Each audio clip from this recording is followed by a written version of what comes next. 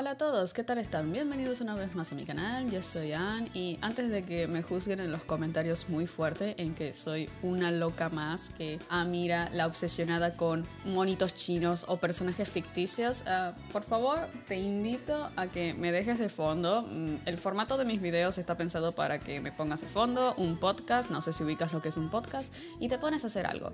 Entre esos algo puede ser juzgarme a lo largo que voy contando lo que tengo ganas de expresar esta semana, así que eso. Y para primero dar un poco de contexto, yo no quería hacer este video, me negaba bastante fuerte y lo más probable es que cuando esté editando esto me voy a arrepentir, pero como ya estamos en etapa de empezar esto y empezar a editarlo, digo, bueno, mira, ya he llegado muy lejos, simplemente voy a subirlo y que pase lo que tenga que pasar en el mundo del internet. Probablemente me juzguen, probablemente también me digan, ah, mira, yo también me pasa algo así, pero es inevitable que me vayan a juzgar y tengo que vivir con ello. Pueden ubicar un poco más a estas otras artistas que tienen muchos más números en sus cuentas, simplemente por una probabilidad.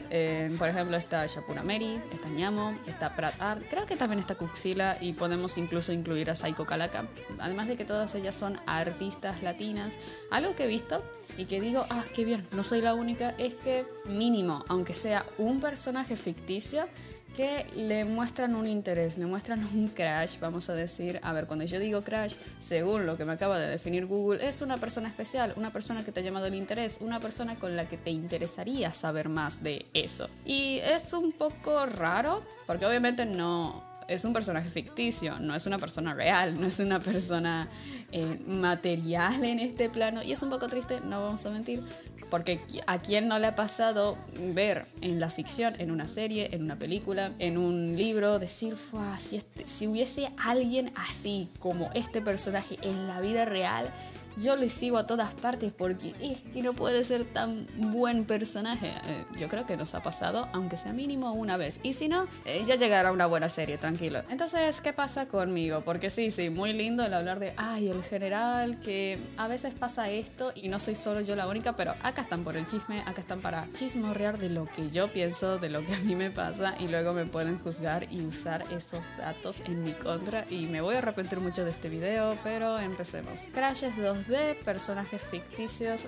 ¿Por qué 2D? Ya, ya me confesé, qué culia. Podría haber dicho, ah, personajes ficticios de un libro o de una película. No, no, todos son monitos chinos, me cago en todo. A ver, quiero simplemente decir esto. ¿Está Pratt? Hola Pratt, si ves esto, hola, ¿qué tal? Ella hace unos días, cuando estoy grabando esto, subió un video donde ella, con los ovarios de oro que tiene, sacó un video de ella hablando de sus crashes 2D, de sus amores en la ficción y yo digo, boludo. O sea, los huevos que hay que tener para que eso, hacer ese video, que sepan que te van a juzgar y aún así que no es que no te importe nada, pero uff, la revivís. Entonces digo, bueno, si ella pudo, la voy a acompañar. Igual ella dice que la razón de por qué tuvo todos estos amores en la ficción era debido a que era una persona muy tímida o que era una persona a la que no interactuaba con otras personas por motivos que explica en su video. Es un caso parecido al mío. Yo considero que esta respuesta a que te termines interesando en personajes en la ficción, obviamente no es algo que con lo que naces o no es algo que, bueno, es una enfermedad, para nada no es una enfermedad, pero yo tengo mm, mi suposición de que en mi caso este interés que yo terminé por desarrollar de estos personajes en la ficción, ya, ya les diré cuáles son y me van a juzgar y nos vamos a cagar muy fuerte de mis terribles gustos,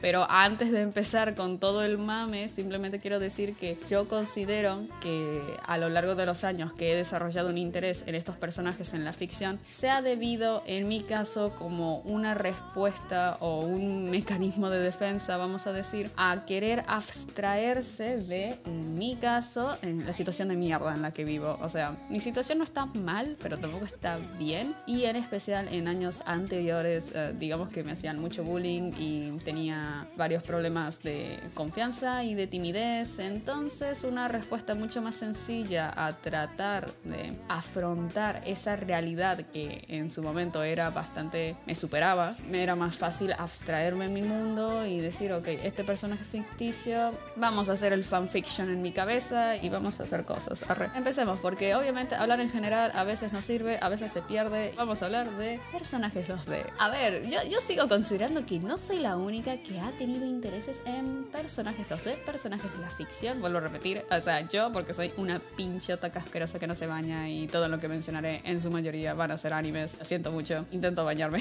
intento mucho eso. También tenía un poco de duda en cómo estructurar esto porque no sabía si decirles los que actualmente estoy metida, pero no tendría sentido porque de aquí a unos años voy a volver a cambiar de gustos, así que... Eh, Así que bueno, hablemos un poco de cómo surgió el comienzo de todo y luego vamos de ese punto de partida a peor, porque se pone mucho peor. Así que bueno, todo esto comenzó, o sea, digamos que cuando... No, ni siquiera iba a decir, todo esto comenzó cuando ya tenía capacidad de pensar, pero es que ni eso. A la tierna edad de 5 hasta los 8 años, no sé, era una edad en donde no, no procesaba nada de la vida. Era como, ok, existe algo que se llama tener amigos. ¿Quieres tener amigos? Y literalmente no respondía nada porque estaba tan metida en una burbuja, no de autismo, pero era algo muy parecido a eso, que era como, no, no, yo quiero estar acá adentro, quiero estar con un papelito. Y dirán, ah, un papelito para dibujar. No, no, hacer tarea.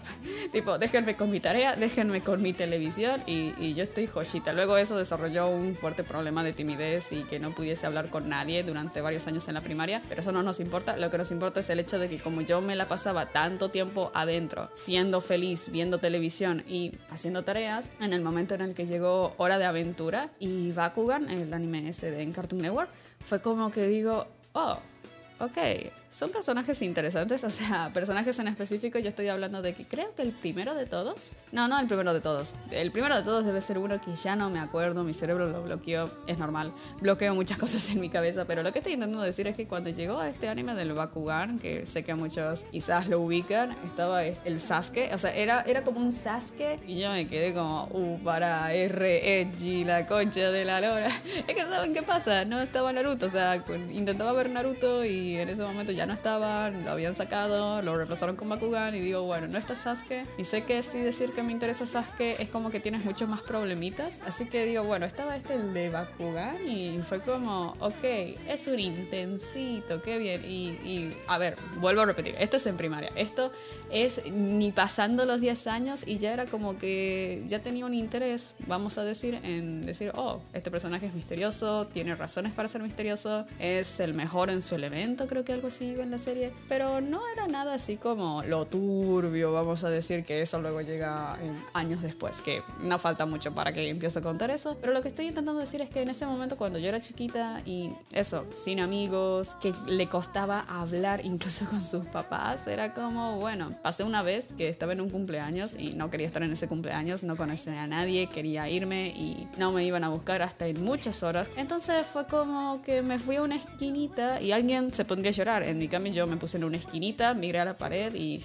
empecé el, el fanfiction mental de no simplemente vamos a hacer el, el fanfiction, era como que, ok, si él, si este personaje estuviese en mi situación, ¿qué haría? ¿Cómo reaccionaría? Y si él reacciona de esta manera, yo debería reaccionar igual porque tiene unos rasgos, unas características que son parecidas a las mías. Estás diciendo que de chiquita te considerabas intensita, bastante que sí. No duró mucho, entre Bakugan había una serie mucho mejor. Era Hora de Aventura, eran esos años donde e, eran las primeras temporadas de Hora de Aventura y la estaba re rompiendo. Y no sé por qué en el momento en el que el protagonista, Finn, se saca el gorrito y tiene alta melena rubia, me quedé como, ah, ¿qué pasó acá? Y, y, fue como que mi, mi, cerebro no entendía porque digo, ah, ok, a los rubios, eh, no, realmente no. O sea, era como que digo, eh, realmente no, no, la gente rubia, no, por favor. No en ese sentido, no en ese aspecto. Y luego llegó el de Hora de Aventura y me quedé como,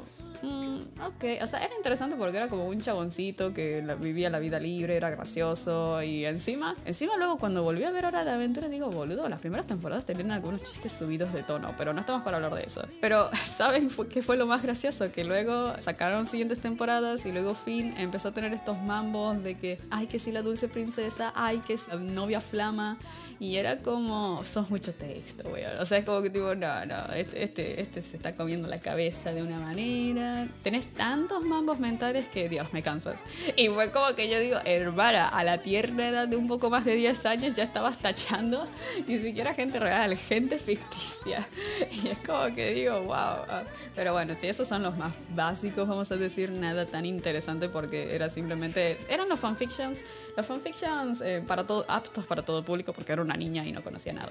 Ahora, ¿qué pasa? Cuando llego a la maravillosa secundaria, empiezo a descubrir cosas, las hormonas y bastantes las crisis de identidad eran muy fuertes y sumándole a todo eso, como corona de todo lo que estaba pasando, empecé con el anime. Eh, por favor, gente, ah, no sé, es como que digo, yo creo que lo último o lo que realmente esperaría que alguien no tomase como decisión de vida sería que cuando empiece a ser adolescente vea anime, porque eso es meter un pie en la tumba de muchas cosas, entre ellos bullying, entre ellos el no bañarse, entre ellos mucho más bullying, que fue lo que me pasó. A lo mejor es mi experiencia personal y como ahora son unos tiempos un poco más distintos, ahora ver anime no está tan estigmatizado como algo de friki, sino como un hobby más, tipo, los envidio, los envidio porque ahora sí son adolescentes y ven anime y dicen, ah, sí, mira, yo veo Demon Slayer o yo veo My Hero Academia, no les van a juzgar tan fuertes porque es lo más probable de que incluso otros de sus compañeros también digan, ah, para eso son los que están en Netflix. Sí, yo también los vi, son re buenos, están bien. Así no era, así no era cuando yo estaba en la secundaria, sí. O sea, a mí me miraban como, mira, esa es la que ve anime, vamos a hacerle bullying. Y por suerte, en ese momento no sabía que me hacían bullying, pero digamos que no era tan bienvenida, vamos a decir, o no que no bienvenido, o sea, porque intentaban ser amables conmigo, pero el problema estaba en que como todo mi mundo, o sea, yo aún era autista.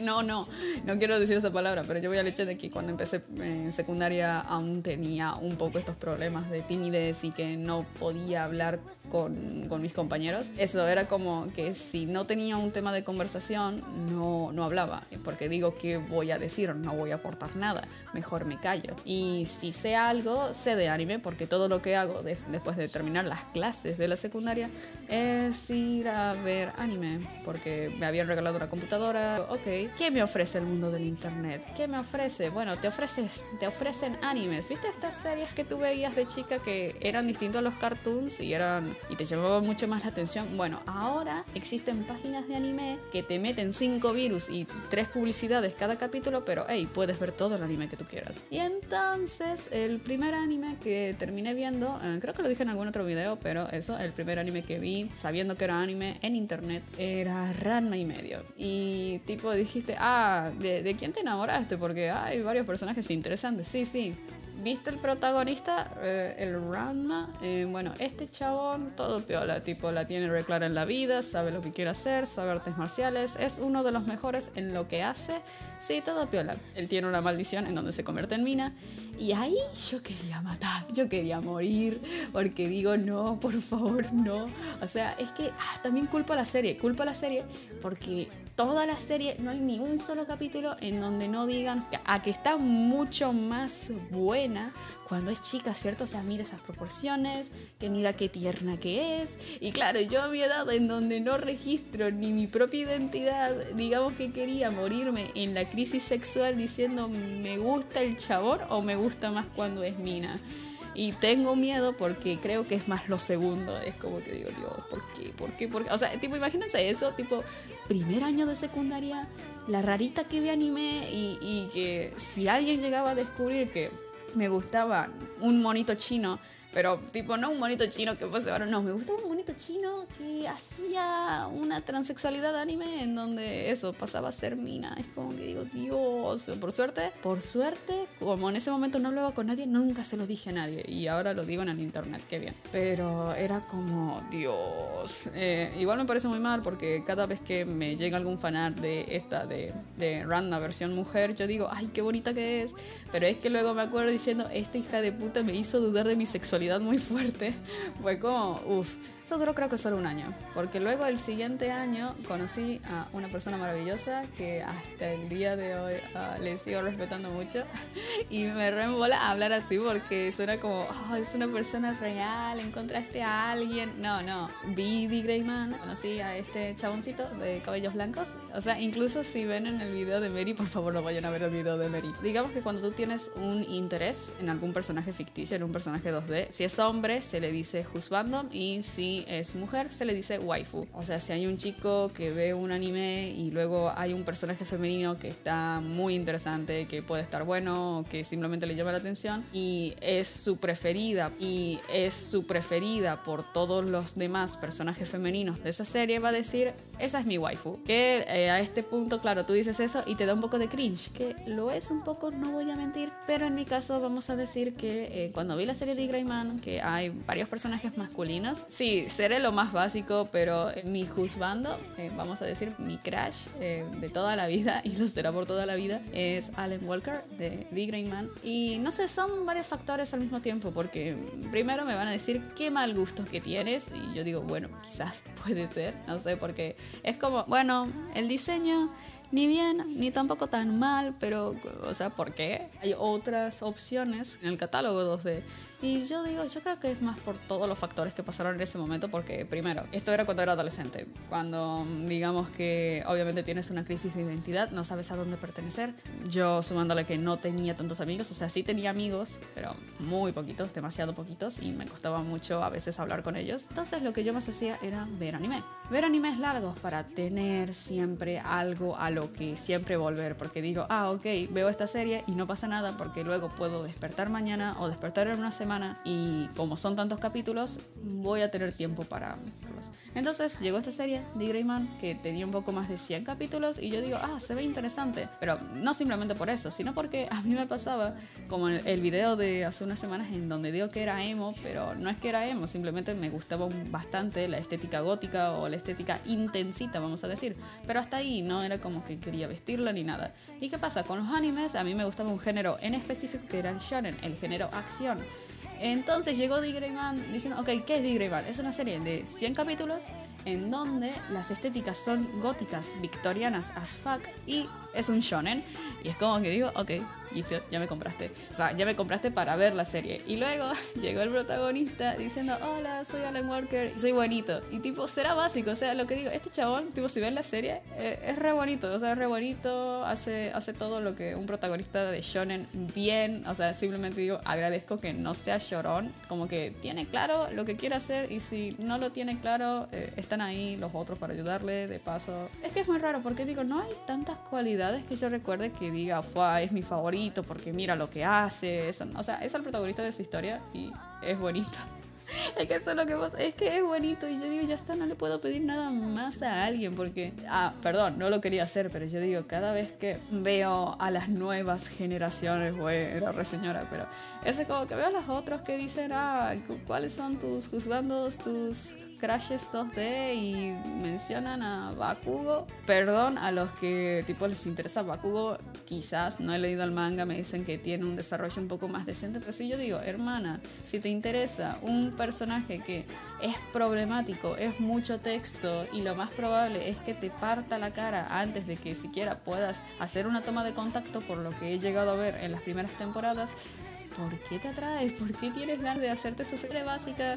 Pero digo, está este chaboncito de cabellos blancos que es bonito, tipo te va a tratar bien y, ya está, ¿qué más puedo pedirle? O sea, es re bonito y en mi cabeza, pero me ayudó mucho en los años de más duros de mi adolescencia, vamos a decir, en donde ahora recuerdo y digo, uff, eran problemas súper pelotudos, pero yo me ahogaba mucho en un vaso de agua y cuando me ahogaba mucho en un vaso de agua y obviamente no podía recurrir a nadie porque muchos de esos problemas eran familiares, era como mi cabeza era simplemente el chaboncito decía, todo va a estar bien, porque va a salir bien, porque simplemente era eso, como que la serie era como, ok, si la situación tira a malo, no pasa nada porque vas a encontrar una solución y si vas a encontrar una solución es que tú puedes hacerlo. Y era lo único que necesitaba en ese momento y una situación de estrés o algo en donde no veo bien cómo salir adelante, simplemente me pongo en la cabeza diciendo, ok, ¿qué haría este personaje? Este personaje no tiene todas las respuestas, no es perfecto, pero siempre intenta, intenta buscar alguna solución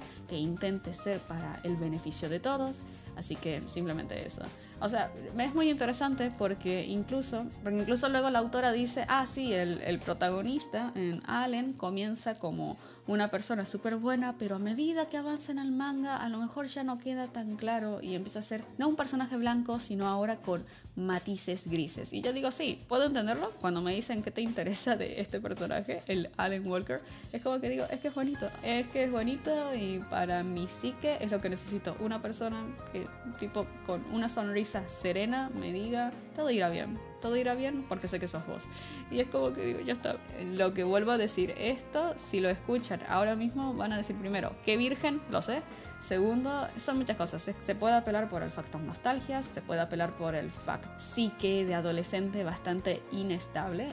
Simplemente yo les cuento, no tienen por qué entenderme al 100%, pero con tal de que no me juzguen, yo ya estoy cantando victoria. Pero ¿qué pasó? O sea, tipo todo bien, diciendo, bueno, mira, Alan Walker totalmente eh, es mi crush 2D, definitivo. Eh, esto es lo que más me, como que digo, wow, no soy la única loquita, porque luego está Mary, Shapura Mary, otra chica que dibuja y tal, que a raíz de que no interactuaba tanto socialmente en los momentos de adolescencia, eh, terminó desarrollando un interés, un afecto 2D debido a mecanismos de defensa. Al menos para mí son mecanismos de defensa. Entonces lo que estoy intentando decir es que ella, este tipo de interés, afección a un personaje de ficción, en mi caso será Alan Walker, para ella será un Vocaloid llamado Kaito, en donde ella dice que le es fiel. O sea, han pasado tantos años y no hay otro personaje que le haya dado tanta devoción como Kaito. Y fue re lindo el poder encontrar otra persona como yo. Digo, Dios, no estoy sola porque digo, obviamente que esto no se lo dices a alguien, esto no se lo dices a un amigo, que a no ser que también esté metido en el anime y esté enfermo de la cabeza como vos, pues enfermo. Pero lo que estoy intentando decir es que no y diciéndole, ah, mira, me gusta este monito 2D y me hago el re fanfiction en mi cabeza. No lo dices, obviamente que no. Y que luego venga Mary así tranquila diciendo, ah, que yo ya llevo tantos años con él y el interés, la flama no se ha apagado. Es como que digo, wow, no soy la única y eso es como que eso eso desde el momento en el que yo encuentro a alguien, eso que en internet dice mi crush 2D o mi interés 2D, también mi waifu 2D, es esta, es como que digo, es que te aplaudo, porque yo, yo durante muchos años no he tenido esas agallas para contárselo a alguien. Luego, quizás unos años después, ya cuando por fin ya había desarrollado un poco esa capacidad para poder hacer amigos y hablar con ellos, luego le conté a un que otro amigo que eso, mis crashes 2D eran estos y me juzgaron, me siguen juzgando muy fuerte diciendo que gustos tan básicos que tienes, pero bueno, al menos ya es un avance, al menos yo se lo pude contar a alguien y ahora que se los cuento a ustedes también es muy raro. Es que yo digo, ok, yo la admiro a Mary porque dice, han pasado no sé cuántos años y no ha habido nadie, le he sido fiel, en ningún momento ha habido una infidelidad y yo me siento para el mierda porque soy una infiel asquerosa. Yo quisiera creer que en la vida real no será así, pero ah, la vida real es muy aburrida, a mí me interesa mucho más el 2D. ¿Por qué? Ok, esto fue Allen, vamos a decir que simplemente un mecanismo de defensa en mi cabeza diciendo todo irá bien cuando estaba en la secundaria. Bueno, ¿qué pasa? Eh, estaba terminando secundaria, encontré un bonito jueguito. Eh, que emulé llamado Kingdom Hearts y esto ya lo pueden ver en mis videos de hace un año de que digamos que desarrollé una obsesión muy fuerte con Kingdom Hearts y desarrollé una obsesión bastante que ahora eh, me arrepiento de mis decisiones de vida, como las de haber jugado ese jueguito, de que desarrollé un interés en un personaje en específico, un personaje rubio llamado Pentus. Y digamos que me quiero morir muy fuerte porque digo, es que soy menor, ¿qué te pasa? Bueno, en ese momento aún era menor, quiero creer que aún era menor, pero, oh Dios, no, me, me arrepiento tanto. O sea, esto es mi problema porque a lo largo que hago memoria diciendo, ok, ¿cuáles fueron mis intereses?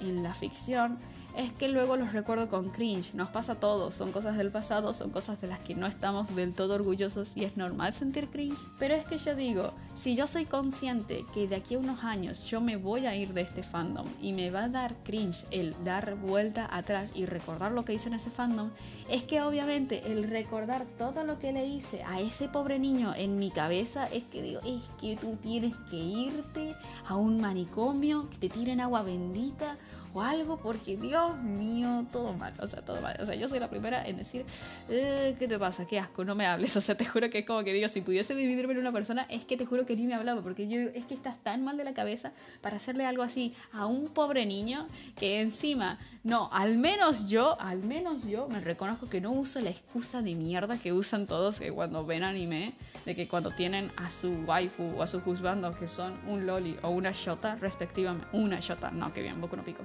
Pero yo lo que voy es que tipo si hay un personaje ficticio que te interesa, que sí, eh, tipo está re bien, es un personaje que está bien escrito y lo que sea, pero que obviamente su apariencia es el de un menor, por más de que la historia sea un vampiro o sea alguien que ha vivido cientos y miles de años, es que igual si te atrae porque el aspecto es de un menor, es que tú tienes que ir a la puta cárcel, o sea, es como que, oh Dios. Encima lo yo era consciente de esto, no, no es como que usaba la excusa de, ah, no, es que a lo mejor en la historia del jueguito del celular son muchos años atrás, entonces de seguro debe tener muchos años. No, tipo, yo era consciente de que me traía porque estaba chiquito. Y como estaba chiquito, es que me tengo que ir a la puta cárcel. Pero ya lo superé. Y como ya lo superé, ya salí de esa cárcel.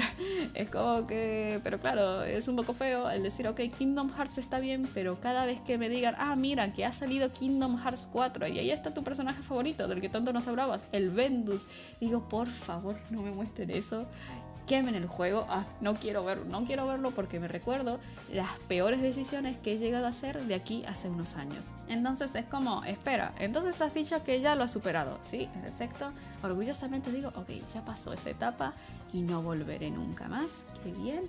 ¿Ahora quién? ¿Ahora quién? ¿Volviste con el de cabello blanco? Ojalá.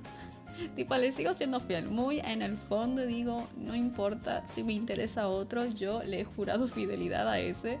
Pero es que bueno, tipo es, o sea, es tranquilito, no, no hay mucho de dónde raspar más allá de que es buena gente y como es buena gente, a veces se termina cansando y buscas unas experiencias un poco más interesantes. Me imagino, ay, si alguien me escucha y me toma como, ok, voy a hacer más o menos lo que ella piensa con las relaciones en la vida real. Por favor, no, por favor, no. Esto es en la ficción donde nadie sale dañado, a excepción de mi sanidad mental. Así que, de nuevo, todo esto es en broma, ¿bien? Estamos acá para reírnos entre todos. Si han estado viendo los últimos videos y sobre todo mis historias de Instagram y en mis otras redes sociales, Twitter, han visto que dejé de compartir o hacer contenido fanarts de Kingdom Hearts ah, ahora ser de JoJo's Bizarre Adventure. Y es como que por favor no cierres el video. Ya sé que es como, mm, no, no, todo, todo ahí muy mal. Son gente súper fea, súper mamada. Yo lo sé, yo soy la primera en reconocer que no es el estilo más placentero visualmente para verlo. Pero si leen el manga, a mí me encanta leer manga por el arte, me gusta el arte.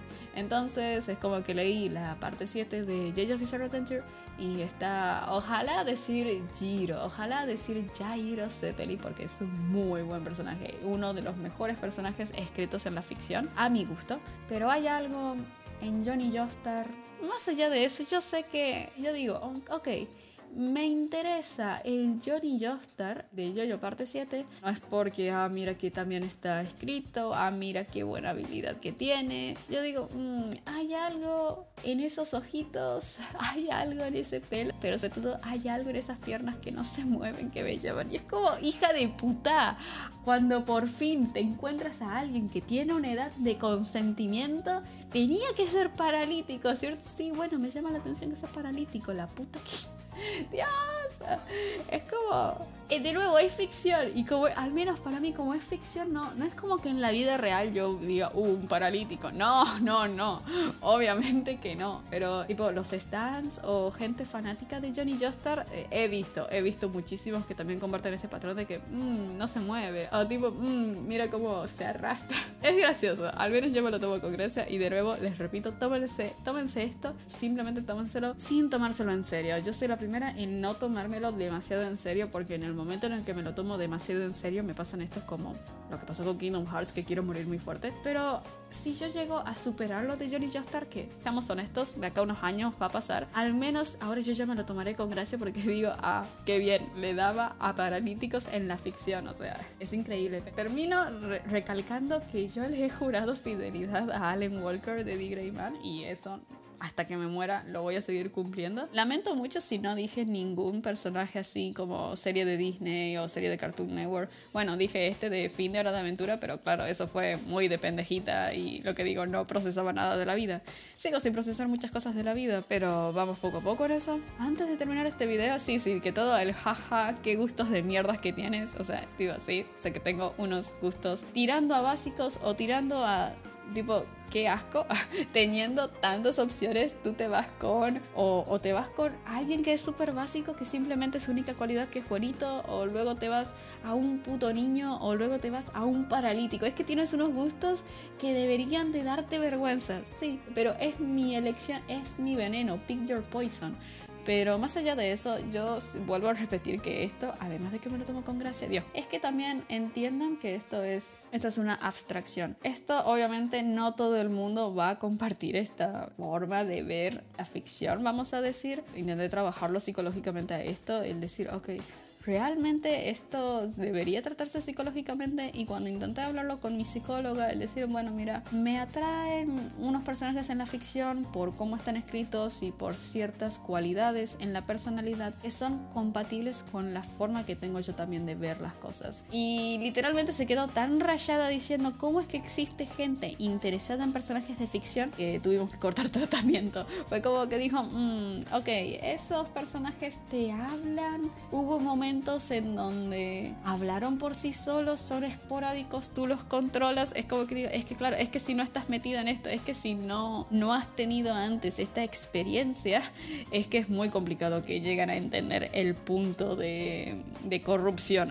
no, no, no lo va a entender todo el mundo y eso está bien. De nuevo, seguramente son experiencias que se comparten, pero yo entiendo que quizás en el mundo del internet va a haber muchas más personas que es mucho más probable que estén metidas en esto porque bueno, si han llegado acá es por algo no quiero volver a repetirme, pero lo que digo, esto fue respuesta a una serie de eventos en mi vida y en mi forma de ser que terminaron desarrollando, porque yo considero que esto, el estar interesada en personajes de la ficción, es cuando tú pasas una barrera, que no sé cómo se llama esa barrera, pero obviamente es una barrera que una vez que pasas, curres a esto, porque obviamente, no sé, gente que sale o gente que no está tan metida o no consume tanto producto multimedia y eso, qué sé yo, sale, hace ejercicio, habla con gente, em, digamos que dice, no tengo necesidad de abstraerme en un mundo en donde era con personajes ficticios porque tengo personas en la vida real. Y eso es bastante, yo creería que mi diferencia, porque todo esto es a raíz de que no interactúo tanto con personas en la vida real. Y ahora obviamente interactúo, o sea, lo que digo, esta, estoy en servidores de Discord, hablo con la gente con la que terminé desarrollando amistades, sigo hablando con ellos, me gusta hablar, me encanta hablar como lo están viendo en este video, me encanta también hablar con ustedes, lo que digo, ya no es esa, ya no soy esa niña de simplemente me quedo en mi pieza, lo único que tengo es recurrir a la abstracción, eh, me quedo hablando con personajes ficticios, pero ya es algo que por suerte obviamente puedo distinguirlo, ya no es lo único a lo que puedo recurrir, pero como es lo que digo, una abstracción en donde nadie me puede hacer daño, es algo que de tanto en tanto vuelvo a recurrir porque de nuevo la vida no es perfecta y van a pasar cosas feas y algunos mecanismos de defensa cuando ocurre algo feo o obviamente no quieres estar en esa situación, algunos obviamente lo pueden tratar de distintas maneras, como sea hablar con un amigo, como sea comer algo, hacer un ejercicio. Existen muchos mecanismos de defensa al momento de confrontar una realidad que no queremos aceptar.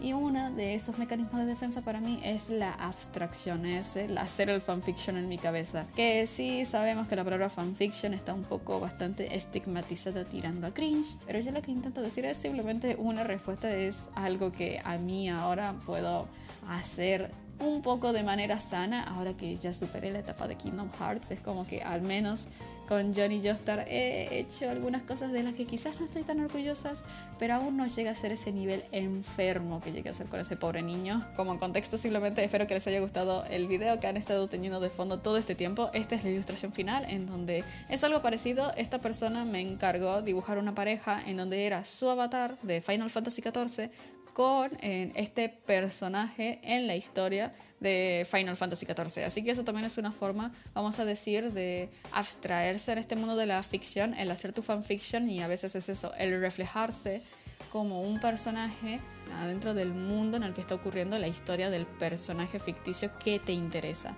Espero que se haya entendido, espero que también hayan disfrutado esta pequeña, larga charla que hemos tenido. También sean bienvenidos a dejar en los comentarios eh, sus crashes 2D, si nunca lo han tenido, no han llegado a ese nivel de corrupción mental que yo tengo. Lo digo de nuevo en broma, no se lo tomen tan en serio. Intento que esto sea divertido porque obviamente si me lo tomo muy serio es aburrido. Si me lo tomo muy en broma tampoco tiene gracia. Así que eso, uh, si han llegado hasta la parte final de este video, que de verdad es muy de admirar, dejen en los comentarios, deja de ser una asquerosa infiel. Si comentan, deja de ser una asquerosa infiel yo les pongo corazón. Así funciona en este canal y si les ha gustado les invito a que se suscriban, a que lo compartan por favor para que les llegue más gente y me digan, ok, no estás sola, eres un infiel y es un poco bastante para juzgarte, sobre todo en la comunidad, pero ya está, eres humana. Se te perdona y sobre todo es ficción, así que nadie sale dañado, espero. Solo mi sanidad, así que eso, espero que les haya gustado y nos vemos la siguiente semana, otro viernes que va a ser bastante interesante la siguiente semana. Así que eso, nos vemos y adiós.